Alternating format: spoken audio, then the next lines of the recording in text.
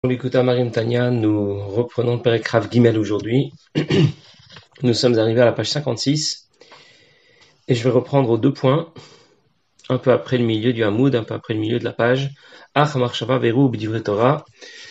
Euh, je reprends comme d'habitude la suite des idées que la Zaken nous présente ici depuis le Perek Yutret.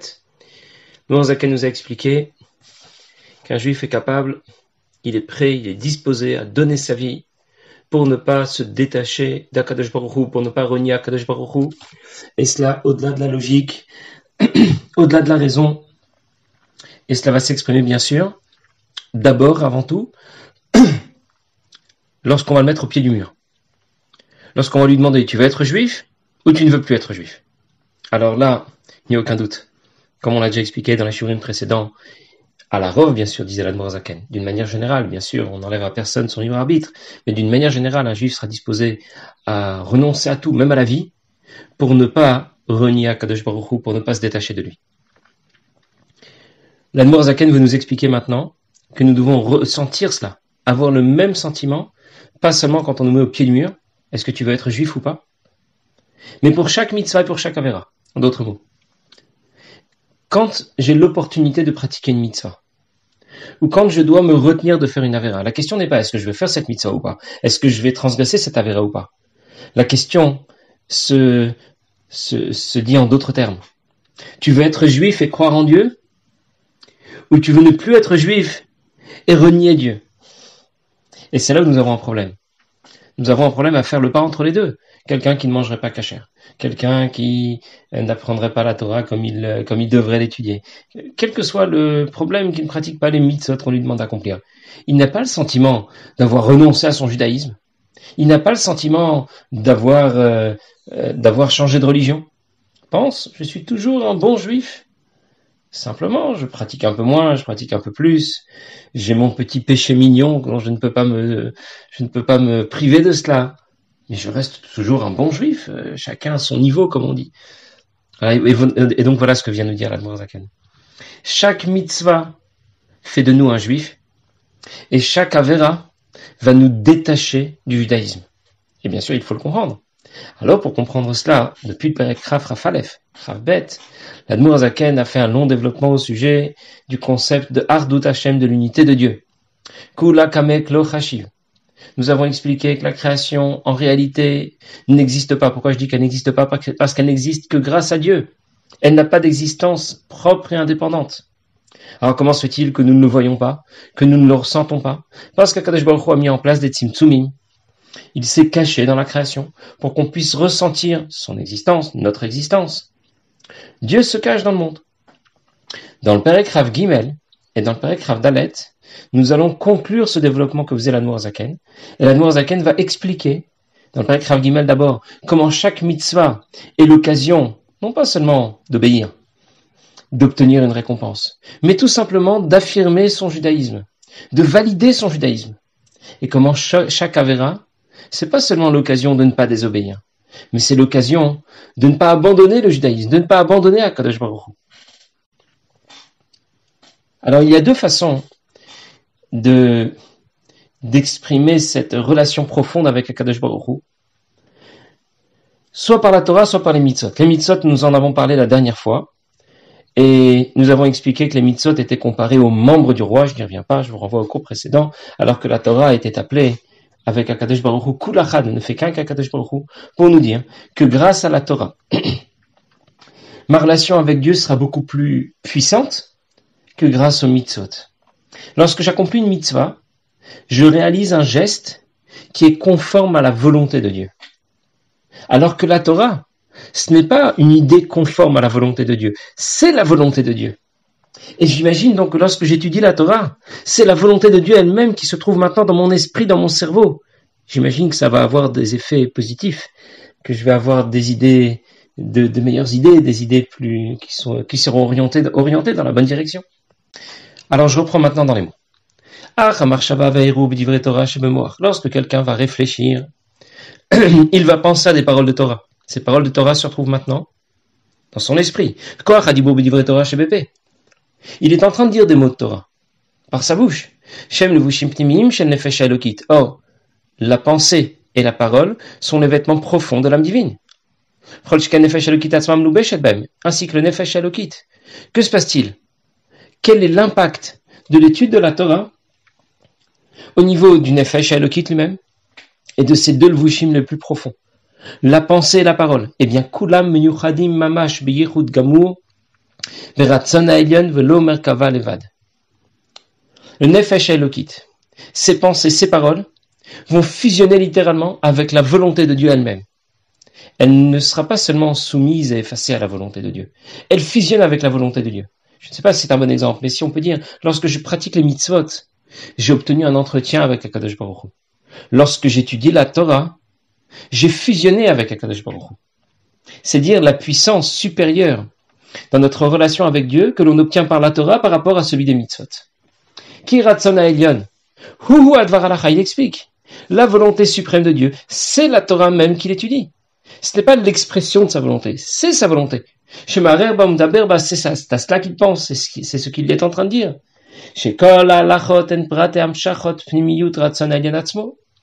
Toutes les halachot de la Torah sont dérivées de la volonté profonde d'Akadosh Baruch Hu. Nous avons déjà expliqué et fait la différence les dernières fois euh, entre ce qu'on a appelé la volonté profonde d'Akadosh Baruch Hu et la volonté la moins profonde, voilà ce que Dieu a voulu. D'avoir zemutar ou kacher ou patur ou zakai ou faire. Dans telle situation, ce sera permis, autorisé, on sera qui, tout le contraire. Ainsi que toutes les lettres de la Torah, des Nevim ou des Ktuvim. Les lettres de la Torah ont fusionné littéralement avec la sagesse d'Akadosh Baruch Hu qui s'y exprime, mais Une fusion totale. On n'a pas juste collé deux choses l'une avec l'autre. Il s'agit d'une fusion totale. Shiwayot Deavo Amada, on dit de, de,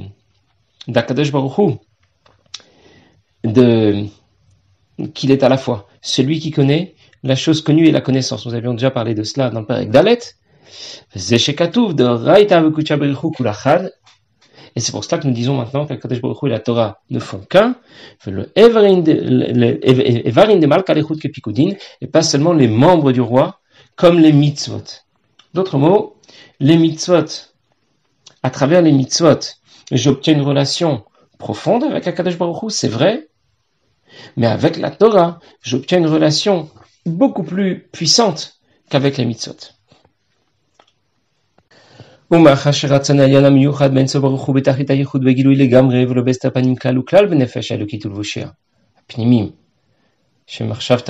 Puisque la volonté suprême de Dieu maintenant a fusionné totalement, parce qu'elle se révèle dans la Torah qu'il est en train d'étudier. Elle n'est pas cachée, comme la présence de Dieu est cachée dans le monde. Cette fois, elle apparaît dans la Torah, elle apparaît pour notre Nefesh Elokit, pour notre âme divine, pour ses pensées, ses paroles, les vêtements profonds de l'âme.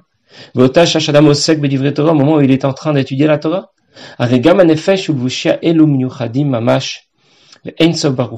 alors l'intégralité de son nefesh vont maintenant fusionner avec Akadosh Baruch Hu de la façon la plus haute, qui Yehud Yevuro Marshavto Shel Akadosh Baruch Hu Moto Kanal, comme autant la parole et la pensée d'Akadosh Baruch Hu ne font qu'un avec Akadosh Baruch Hu, qui a une shum davar panim, rien ne vient séparer, nous séparer d'Akadosh Baruch Hu, sauf lorsqu'il se cache. Bon, que veut dire ici la Zaken? Lorsque quelqu'un va étudier la Torah, il fusionne littéralement avec Akadosh Baruch Hu. Pourtant, ce ne sera pas le cas lorsque quelqu'un va euh, se retrouver, ce qu'appelle ici la Zaken, behester panim. Il s'est caché d'Akadosh Baruch Hu. Comment il a fait pour se cacher d'Akadosh Baruch On peut expliquer Esther Panim, c'est l'Esther Panim d'Akadosh Baruch lorsque Dieu se cache dans la création. Mais ça peut aussi être le résultat de l'homme, de ce qu'il a fait. Nous verrons dans le paragraphe d'Alet. La Nourazaken va développer davantage cette idée. Qu'est-ce qui peut nous séparer d'Akadosh Baruch Ce sont nos Averot. Nos Averot nous détachent d'Akadosh Baruch. Mais s'il est en train d'étudier la Torah, alors sa relation avec Dieu est des plus profondes. Il a fusionné totalement avec Akadosh Baruch. Et il n'est pas possible, il n'est pas concevable dans la situation où il se trouve maintenant de s'en séparer.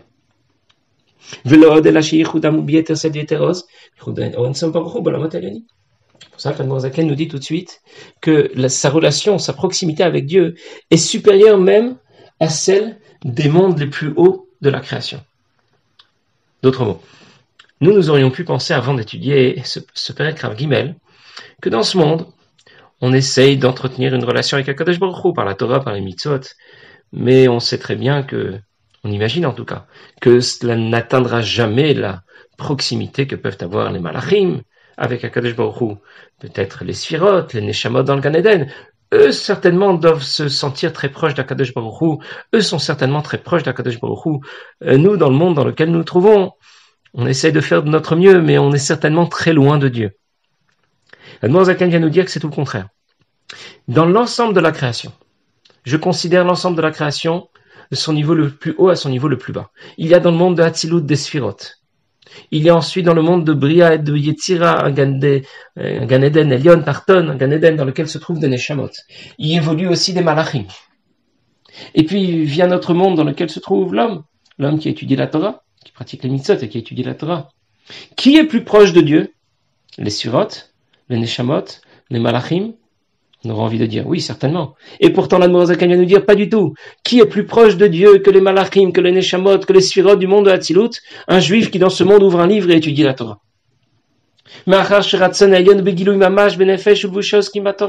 Parce que lorsqu'il apprend la Torah, eh bien, la Torah, c'est la volonté de Dieu elle-même qui se révèle ici sans aucun levouche, dans les vêtements de l'âme. Lorsqu'il est en train d'étudier la Torah, en pensée, en parole, à Torah La Torah qu'il étudie, c'est la volonté de Dieu, Begilouy, révélée. Alors que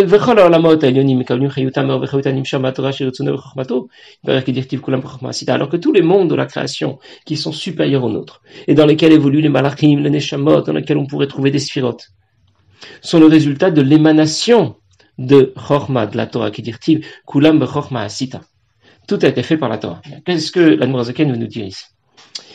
Savons que la création n'existe que par le mérite de la Torah. C'est écrit Kulam Chorma Asita. Il ne faut pas traduire uniquement tu les as fait, tu as fait la création avec sagesse. Mais Bechorma, c'est Bechorma ta Torah. Il y a un passage qui dit Yomam Hukot Samti. Si ce n'était pour mon alliance, c'est-à-dire pour la Torah, alors je n'aurais pas créé le ciel et la terre. On dit que le monde a été créé en six jours. Et Yom Hashishi Le sixième jour, le, le, la terre a été achevée. Pourquoi Hashishi? Le sixième jour, on aurait pu dire Yom Shishi. Pourquoi Yom Hashishi? Pour faire référence au Shishibe Sivan, au sixième jour du mois de Sivan où la Torah a été donnée. Le monde n'existe que par le mérite de la Torah, c'est-à-dire que le monde a pour origine La sagesse de Dieu, la Torah. Celui qui étudie la Torah, il n'obtient pas seulement une émanation de la Torah, c'est la Torah elle-même, le Makor, l'origine elle-même de l'ensemble de la création, qui intègre maintenant son esprit, qui intègre son cerveau, ses pensées, qui intègre sa bouche, les mots qu'il est en train de dire. Le Makor de tous les Olamot se trouve maintenant fusionné à l'intérieur de lui. La Torah est au-delà de toute la création. C'est ce que l'on appelle sovev, c'est ce qui dépasse la création, ce qui est à l'origine de la création. Torah.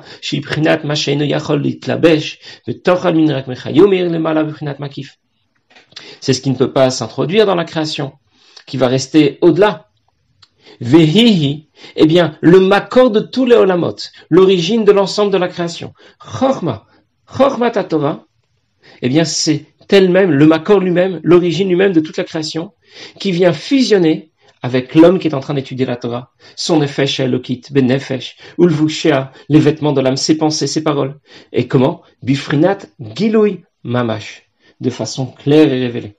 Chose me dit la Torah quand il est affairé, quand il s'occupe d'étudier la Torah. Alan Morzaken pose une question, enfin il ne pose pas la question, mais on a compris la question des quelques mots qui suivent. Alors si vraiment j'ai une relation si extraordinaire avec Akadosh Baruch l'origine de toute la création vient fusionner avec mon nefesh, quitte avec mes pensées, avec mes paroles. Je suis propulsé à un niveau supérieur à celui des malachim, des neshamot, des sphirot. Je ne fais qu'avec Akadosh Baruch Comment se fait-il que je ne le ressens pas? Je ne ressens rien. À falgav de Et même s'il le ressent pas effectivement, ça ne change rien à la réalité. Ça veut dire, en d'autres mots, le fait que tu le ressentes ou que tu le ressentes pas ne change rien à la vérité de la chose. Tu ne le ressens pas, c'est vrai, mais ça reste la réalité, hein, comme l'exemple très connu qui est rapporté dans la Chassidoute, au sujet de ces Chassidim qui partent chez le Rabbi. J'ai certainement déjà rapporté cet exemple une autre fois, mais on peut le répéter.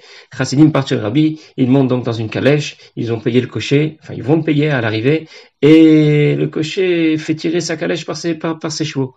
Les chevaux pensent à la paille qu'ils vont recevoir lorsqu'ils arriveront à destination. Le cocher pense à l'argent qu'il va recevoir. Et les malachim sont en train de discuter, pardon, pas les malachim, les chassidim qui sont dans la calèche, sont en train de discuter des malachim, de la mode, des sphirotes, de je ne sais quelle notion de chassidoute. Est-ce que parce que le cheval pense à la paille et le cocher pense à son argent, ça change quelque chose au malachim, au neshamot ou au sphirotes dont parlent, dont les chassidim? Ça ne change rien. La réalité est la même. Attends, pourquoi Dieu a fait alors qu'on ne le ressent pas? Imaginez un peu que l'on puisse ressentir la puissance de notre relation avec Dieu lorsque nous étudions la Torah. Eh bien, ça aurait peut-être pu nous aider, ça nous aurait, euh, ça nous aurait encouragé à étudier davantage la Torah, à nous rapprocher davantage de Dieu. Pourquoi Dieu a fait qu'on ne le ressent pas? La Zaken répond tout de suite entre parenthèses, Mishumari Yachol Lisbol.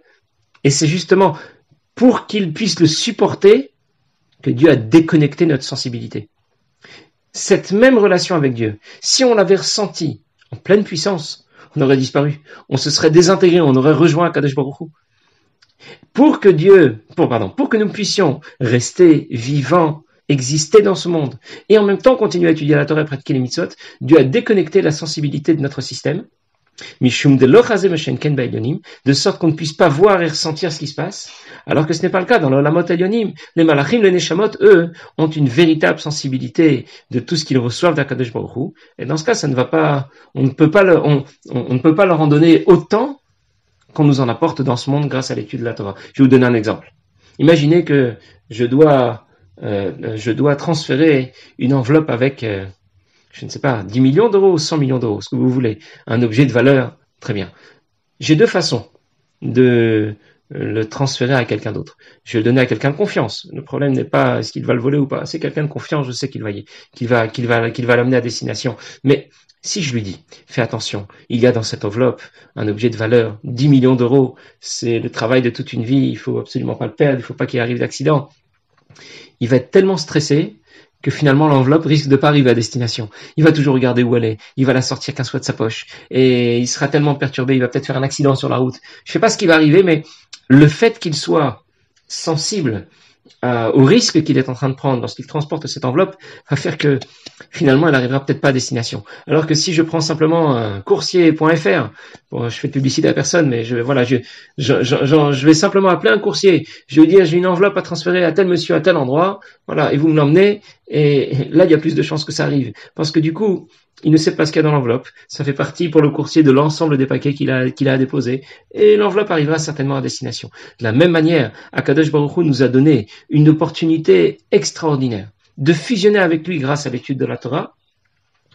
Et pour que nous puissions le supporter, il a déconnecté notre sensibilité. On raconte que Rav Chassid, Rav Avram Lando, euh, était Rav dans sa ville, et il arrivait parfois en plein milieu de la tfila, voire même en plein milieu de la tfila de Yom Kippour. On venait l'interroger, qui avait pris un autre minyan, mais il venait l'interrompre en plein milieu de la tfila pour lui poser des questions à l'Afrique. Il y avait des questions à l'Afrique qui se présentaient et il venait l'interrompre. Et il répondait que ces questions-là ne le dérangent pas. Ça ne le dérange pas dans sa tfila. Pourquoi? Parce qu'ils sont en train de lui poser des questions, bidvar des questions qui concernent la alacha. Qu'est-ce que c'est que l'alacha Il avait conscience qu'il s'agissait là du ratson Elion, de la volonté suprême de Dieu. Donc quand il est en train de prier, il est en train de s'adresser à Dieu, on lui pose une question qui concerne la et c'est aussi la volonté suprême de Dieu. Par contre, il disait que lorsque le chazan commence à, à délirer un peu lorsqu'il chante et qu'il fait des vocalises et qu'il allonge un petit peu les choses. Alors ça, ça le dérange énormément. Ça, vraiment, il ne, le supportait pas. En tout cas, voilà ce que nous devons retenir. Euh, chaque, chaque euh, moment que nous passons à étudier la Torah est un moment exceptionnel. Un moment qui nous apporte une relation si profonde avec Akadosh Baruch Hu. Alors c'est le premier avantage que, dont nous parlons ici au sujet de l'étude de la Torah. Et dans la deuxième partie, enfin, à la fin du Rav Gimel, nous parlera d'un autre avantage qu'il y a encore à étudier la Torah, mais nous verrons ça, Bezrat Hashem, la prochaine fois. Passez une bonne journée.